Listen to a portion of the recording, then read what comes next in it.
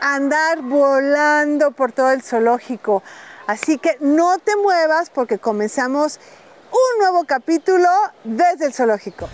Y entre, entre tanta algarabía nos vamos a mover un poquito porque vamos a presenciar en este momento el vuelo de guacamayas, el vuelo libre de guacamayas. Ahí vemos a Erika de la Mora y a su equipo, por allá está Fátima y los chicos de servicio que están trabajando arduamente para que se logre ese vuelo.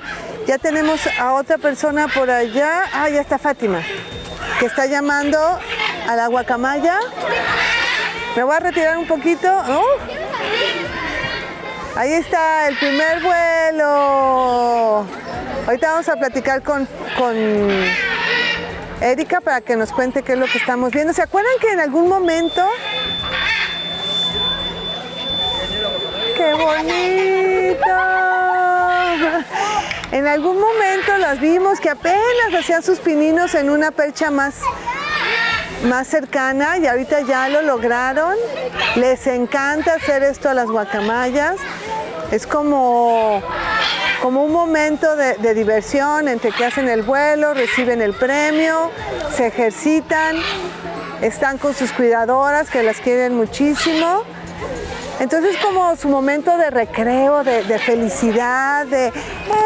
Ahorita que estábamos aquí, solo que había mucha gente, ya sabían que eran la hora y las guacamayas están ahí pegadas a la, a la reja esperando su momento de salir. ¡Ay, ya llegó! Y se le premia por haber hecho lo que le pidieron. Erika guía al chico de servicio y se agachan para indicarle a la guacamaya que es tiempo de volar. El que hagan este, este tipo de vuelos ejercita muchísimo a estas aves. Ejercita muchísimo a estas aves y estamos aquí con Carlos. ¿Cómo estás, Carlos? ¿Cómo? Hola Dana, muy bien, ¿tú qué tal? Muchas gracias. Oye, pues estamos viendo aquí el vuelo. Cuéntame cómo va este vuelo. Híjole, mira, es una- un proyecto que estamos haciendo desde hace más o menos un año. Ajá. Hace un año fue que empezamos con esta, con esta idea de, de las guacamayas que por diferentes razones han llegado aquí al aviario. Empezaran a tener esta, estos vuelos con finalidades educativas. Entonces, actualmente contamos con un grupo de 14 guacamayas dividido en otros grupitos eh, donde realizan vuelos, eh, donde se están ejercitando, donde están adquiriendo condición física para hacer vuelos cada vez más y más y más largos. Está a cargo este proyecto de la bióloga Erika de la Mora con su equipo de, de trabajo que es este otra bióloga que es Fátima y una veterinaria que es este Pamela y junto con los chicos de prácticas profesionales eh, han desarrollado esto este proyecto con guacamayas verdes por el momento eh, y bueno pues la idea es que eh, luzcan eh, las guacamayas que la gente las vea y que la gente conozca la problemática que enfrentan estos animalitos en cuanto a tráfico ilegal y peligro de extinción. Y además que no los tengan como, como mascotas, ¿no? Muchas veces vemos a estos animales en jaulas súper pequeñas, eh, lugares que no, no corresponden a su tamaño, eh, con una mala alimentación, animales solitarios, generalmente, generalmente están este, pues en, condiciones que no son las óptimas, ¿no, Carlos? Sí, así es. Eh, Es el caso de algunas de las guacamayas justo que tenemos. Este, y bueno, fueron rehabilitadas, eh, empezaron a hacer los trabajos en el aviario, en, dentro del aviario, y bueno, pues ahora ya están afuera, ¿no? De hecho, ya hasta tenemos anunciadas eh, que a las once y media va a haber vuelos aquí con las aves. Y bueno, pues fue un trabajo bastante de mucha constancia, de mucha dedicación, de mucha paciencia y sobre todo de mucho aprendizaje porque pues nosotros pensamos una cosa pero lo que nos ofrecen los animales es otra. Entonces bueno ahí vamos en conjunto este, Aprendiendo. eh, aprendiendo con ellas y llevando a cabo estos, estos vuelos. Ahorita ya sal- salió una y la idea es que vean el vuelo de las tres guacamayas que estamos integrando otra guacamaya al grupo más grande que es el de cuatro que hacen Ah, los vuelos más largos este sí esas vuelan juntas exacto Wow, pues miren, vamos a dejarlos que vean las imágenes, porque la verdad no hay manera de describirlas sino viéndolas. Ay, y nosotros aquí seguimos desde el zoológico. Gracias, Carlos. no de qué con gusto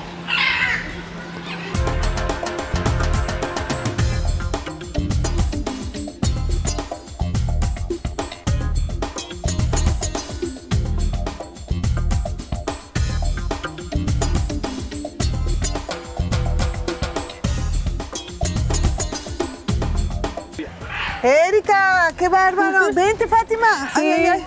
Sí, vénganse para acá. ¿Dónde están equipo. los demás? Ahorita te Allá, vienen. allá ahorita El vienen equipo, los demás, sí. No tengo tanto, tantos, este, es que necesito que te pongas aquí en medio. Espacio. Vente, Marco, también. ¿Y cómo se llama el chico de servicio? Samuel. Samuel, ¿dónde está Samuel? Ay, creo que fue a la cocina.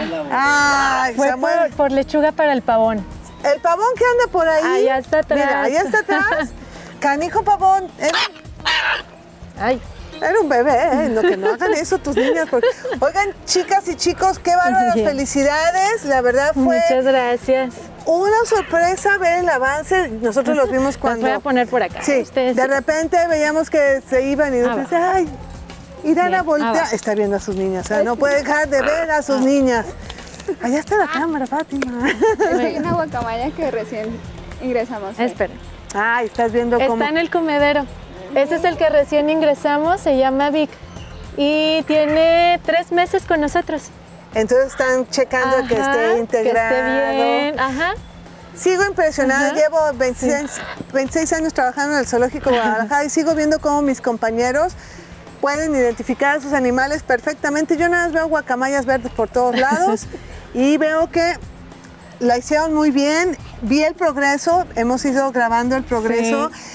He visto cuando se iban y no sabía si iban a, a- a regresar.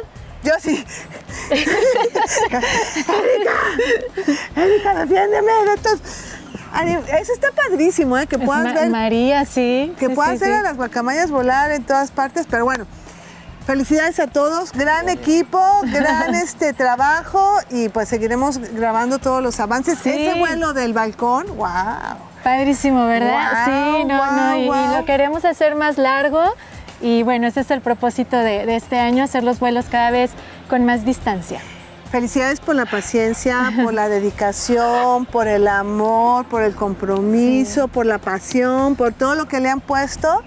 Y se ve en el, en el resultado con los animales, cómo lo disfrutan ellos también, Sí. cómo es un momento de relax, de, de "Ujú, estamos volando.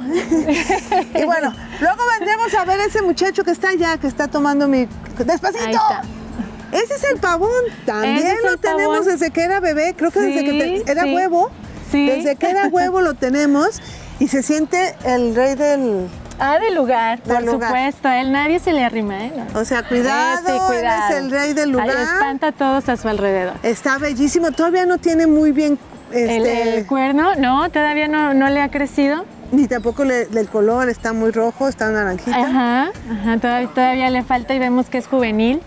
Ah. Entonces, Pues ya este, nos platicarás, Erika. Sí, sobre ¿eh? él, por supuesto. No quería, na- quería nada más felicitarlos. Allá está el chico de servicio. Vente para acá, chico de servicio. ¿Cómo se llama? Samuel. Samuel. Yo soy Vente, muy mala Samuel. para los nombres. Pero les agradecemos Vente, mucho. Y pues que sigan los éxitos y ya estaremos aquí viendo sus vuelos más largos. ¿va? Sí, más largos. Muchísimas gracias. Gracias a ustedes. Seguimos desde Gracias. el zoológico. Y ya me salgo porque me pongo nerviosita con tanto, con tanto Con tan- pico con y tanto vuelo. Sí.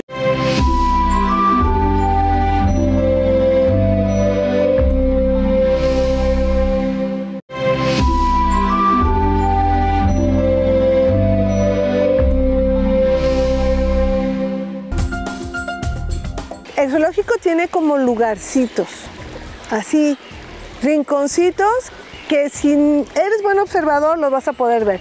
Por ejemplo, miren, allá a lo lejos están los nuevos aviarios de Villa Australiana. Y esos aviarios dan a este riachuelo, que ahorita viene cargadito porque ha estado, pasaron las lluvias y todavía quedó algo de agua. Toda, cuando llueve, baja toda el agua de la calzada de Independencia, llega al zoológico y baja por aquí ¡shup! hasta la barranca de Huentitán. Entonces, obviamente, por tener tanta agua, tanta vegetación, pues está, crece toda esta variedad de plantas. Y si pudiéramos ver, está lleno de pececitos, alevines chiquitititos, que ahorita le van a, va a enseñar mi cámara, miren, ahí están, que sirven de alimento para un montón de animales. Y en las noches, este espacio, hemos visto que hay mapaches. Por aquí se esconden los mapaches en, en este tipo de, huequitos. Por ahí se mete, y ahorita clank, me muerde. Por ahí se meten los mapaches, tienen como sus guaridas. Todos esos agujeros que ven pueden ser de mapaches, puede ser de cuatíes, puede ser de... Y obviamente les digo mapaches porque estos animales les gusta lavar su comida, estar cerca del agua. Y ya viene mi productor porque ya vio que, qué peligro. Puede ser que, que, que esto no salga tan bien como lo pensamos. Pero yo digo que tengo buen equilibrio. Manos, chan, chan, chan, chan, chan, chan. ¡Eh! De todos modos, mi, mi productor siempre me anda cuidando. Entonces, bien, tú también puedes ver estos espacios desde el Sky Zoo. Es que vean qué bonito. Vean, vean este árbol. Vean qué maravilla de árbol. Hermoso. Estoy tratando de ver si es una parota, pero está hermoso. No, no es cierto, no sé de árboles. Pero está hermoso ese árbol. Así que. No, tampoco es jacaranda. No sabemos, pero está hermoso. ¡Ay, allá a lo lejos! Ben Jones, nuestro cámara del día de hoy. Tenemos nuestros compañeros jardineros. Sembraron unos cafetos y están llenos de fruta, o sea, de café. Solo que todavía no, no está rojo, pero se pueden cosechar. Ahorita vamos a ir a verlos más de cerca. Y seguimos desde el zoológico.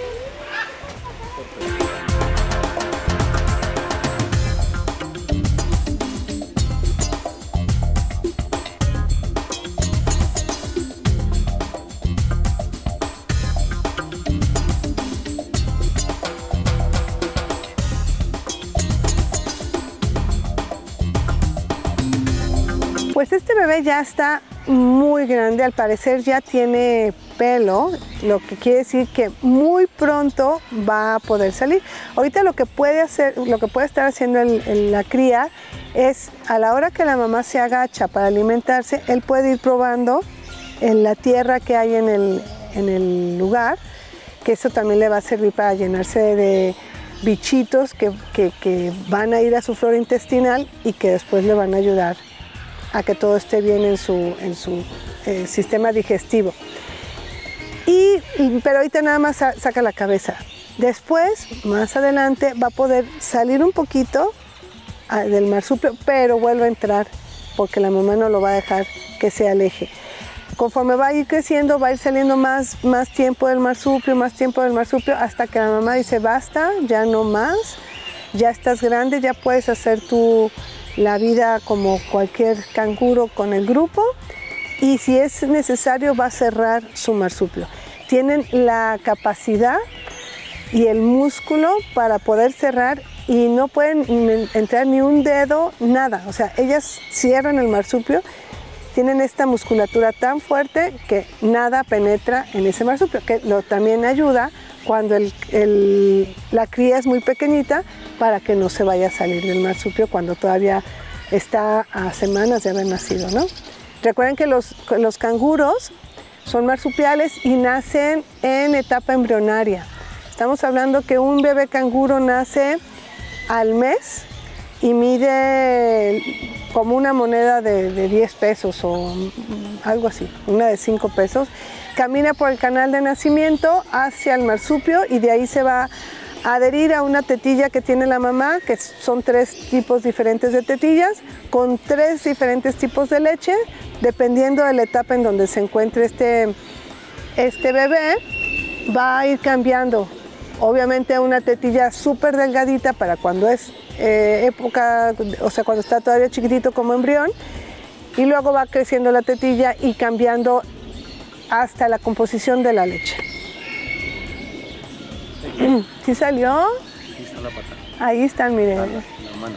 Ahí está la mano, les digo que va saliendo. Tiene cabello.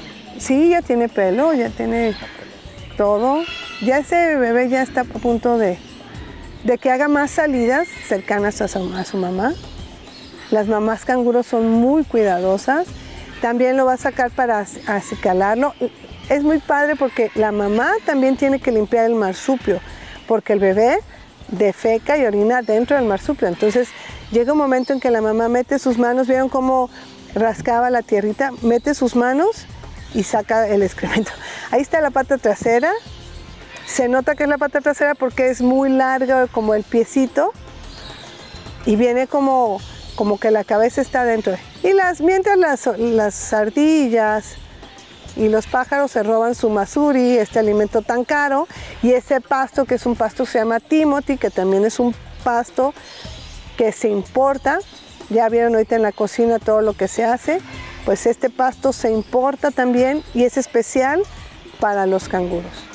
Se llama Timothy. Y seguimos desde el zoológico. A ver si ahora sí quiere asomarse el bebé.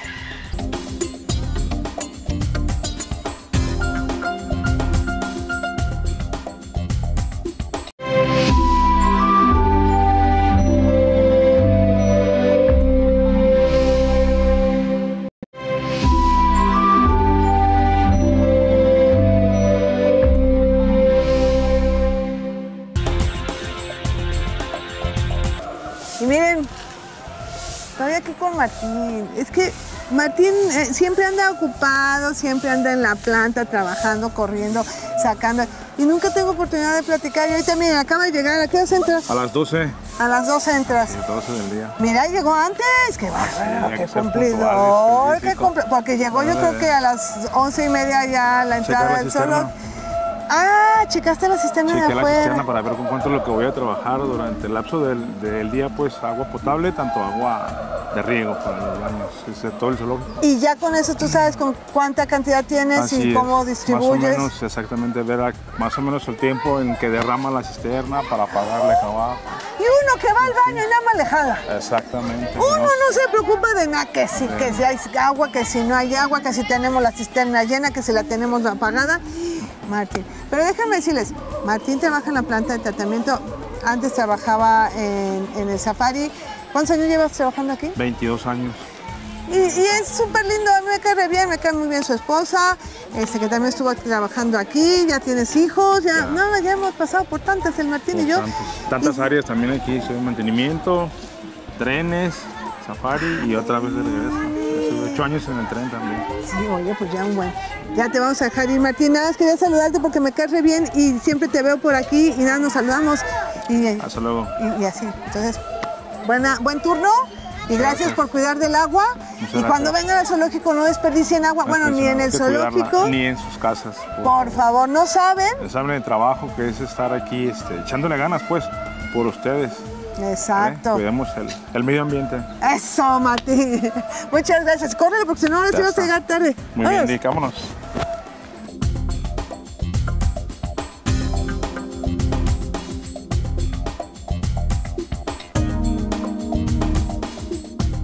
Y aunque es muy grande el zoológico Guadalajara, siempre hay espacios como lugares así silenciosos, lugares como que tienen más paz que otros, ¿no? Y ese es el caso de este aviario, uno de los dos aviarios piramidales. Uno es Amazonia, que está ahí enfrente donde se oyen las guacamayas, guau, guau, guau. y este lado, que es el de las aves, eh, pues un poquito más grandes, como el cisne mudo o cisne vulgar, como le llaman. Este cisne habita en Europa, en casi toda Europa, Dinamarca, Francia, muchos, muchos lugares de Europa. Es un animal bastante grande, puede medir hasta 1,20, 1,70 dependiendo. Obviamente los machos son más grandes, grandes que las hembras. No hay diferenciación entre macho y hembra. Los dos son iguales y se le llama mudo porque no emite sonidos. Cuando van volando los cisnes se van comunicando y ellos no. Ellos no, se, no emiten ese sonido, pero sí, sí tiene vocalizaciones. Ahorita nos acaba de dar una advertencia de, "Ch, órale, váyanse de aquí. Y creemos, por cómo está puesto y, lo que tiene alrededor, que está incubando. Parece ser una hembra porque son las hembras las que incuban el huevo por alrededor de, de unos mm, como 38, de 36 a 38 días y de ahí puede poner de 1 a 11 huevos. Imagínate que es cuidar de 1 a 11 huevos. Habita en lugares obviamente con agua y se alimenta de plantas, de plantas acuáticas, de insectos, inclusive de ranitas. Es muy padre ver a los cisnes cuando ya este, tienen sus, ya eclosionaron sus pollos, porque ahí sí, la mamá incuba los huevos, pero los papás, ambos papás, los van a cuidar celosamente a las crías. Entonces vemos a los papás caminando y detrás todos sus polluelos. Y muchas veces ponen a sus, a sus polluelos en el lomo y así van navegando por los ríos y los lagos. A mí me encanta verlo, se me hace sumamente elegante. Aquí lo tienes muy de cerca, pero igual hay que ser respetuosos y mantener nuestra distancia para no espantarlo y para que no se enoje. Así que los dejo con el cisne mudo aquí en el Zoológico Guadalajara, desde el zoológico.